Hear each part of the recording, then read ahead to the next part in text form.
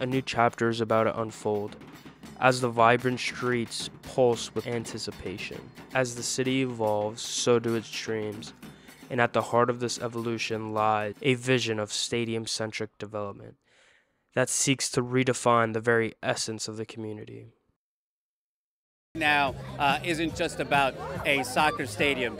It's actually a transformative moment for the city of New York where we're building a brand new neighborhood with 2,500 units of affordable housing. We're building a 650 seat school. We're doing everything that needed to be done to truly build something special here.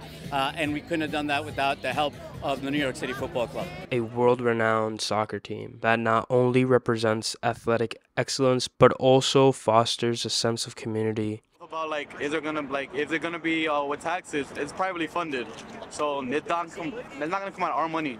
So you know it's privately funded. There won't be congestion. Like you know all that stuff is answered.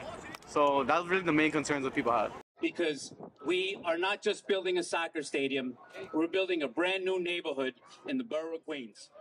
The cutting edge stadium and housing complex in the vibrant borough of Queens offer fans an unprecedented game day experience. The state of the art facilities reflects the team's commitment to innovation and progress, solidifying their position as pioneers of a new era of sports and entertainment.